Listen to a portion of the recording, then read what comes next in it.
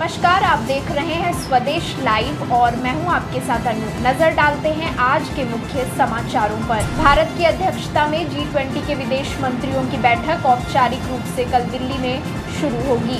गुरुग्राम में भ्रष्टाचार रोधी कार्य समूह की बैठक को केंद्रीय मंत्री डॉक्टर जितेंद्र सिंह संबोधित करते हुए बोले, द्विपक्षीय समन्वय जटिल प्रक्रिया है और विदेशी आर्थिक अपराधियों के मामले सुलझाने में बाधक बनती है।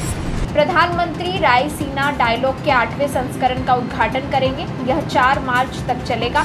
प्रधानमंत्री ने डिब्रूगढ़ में संपन्न हुई गंगा विलास क्रूज यात्रा की सराहना की। बता दें कि क्रूज को 27 नदियों से पाँच भारतीय राज्यों और बांग्लादेश होते हुए 3200 किलोमीटर से अधिक की यात्रा तय करनी थी। छत्तीसगढ़ विधानसभा का बजट सत्र राज्यपाल के अभिभाषण के साथ शुरू हुआ।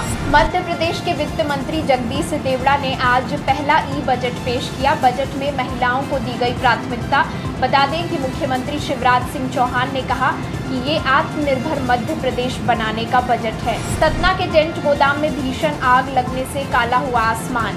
इंदौर में खेले जा रहे बॉर्डर गावस्कर ट्रॉफी के तीसरे टेस्ट मैच में भारतीय टीम 109 रन पर सिमट गई। रणबीर कपूर, सिद्धार्थ मल्होत्रा, वरुण धवन और सोनाक्षी सिन्हा जल्द ही ओटीटी प्लेटफॉर्म पर नज़र आएँगे।